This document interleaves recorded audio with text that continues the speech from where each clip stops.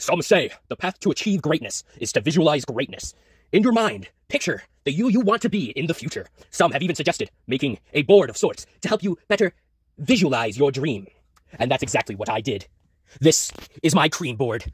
As you can see, first, I will start off as a lowly ice cream machine operator, making cream with the milk from my family of cows. They were like brothers and sisters to me. From the moment I was born, they raised me, and I, who better to milk cows than one who grew up with them?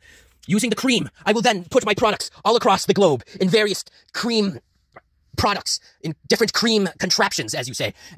As you can see, my place of operations, La Capiella, uh, most famously built by Fidel Castro with his own two hands. He moved every brick to and fro. And unfortunately, after his passing, it has fell into ruin, but not for long, not with my plan. And of course, I will be driving the economically friendly vehicle, the ice cream van, the ice cream company van.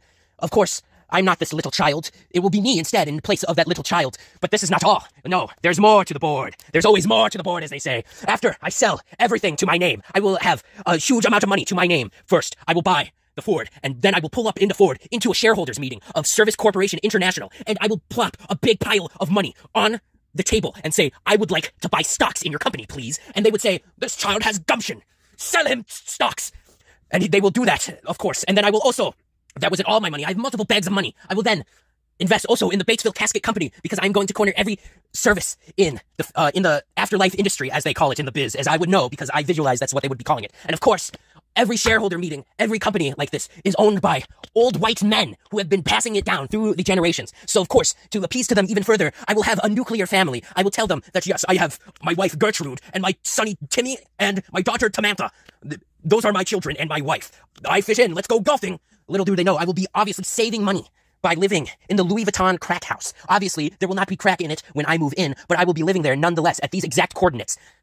As it obviously does not count, cost a lot to live in a house of the, in this condition. But little do they know, after this, I will be gathering money, and then I will have to move out of the country.